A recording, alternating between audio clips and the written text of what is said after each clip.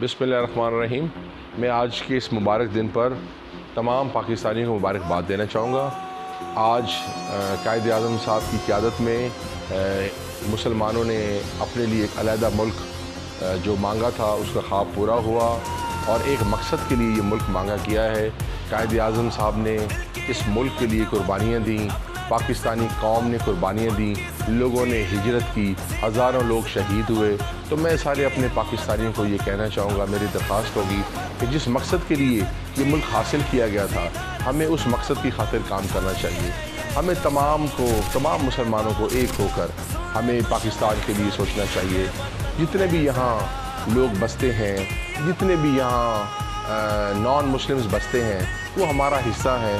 وہ پاکستانی ہیں، ہمیں سب نے مل کر، چاہے وہ کسی مذہب سے تعلق رکھتا ہو، چاہے وہ کسی سیکٹر سے تعلق رکھتا ہو، ہم تمام ایک ہیں، ہم پاکستانی ہیں۔ اور میں آپ سے درخواست کروں گا کہ آج ہم، آج کے دن ہم یہ عہد کریں کہ علامہ اقبال اور قائد اعظم کے پاکستان کو جس مقصد کے لیے حاصل کیا گیا تھا، انشاءاللہ ہم اس مقصد کو ضرور پورا کریں گے اور پاکستان کا نام دنیا میں اچھے الفاظ میں یاد کیا جائے گا۔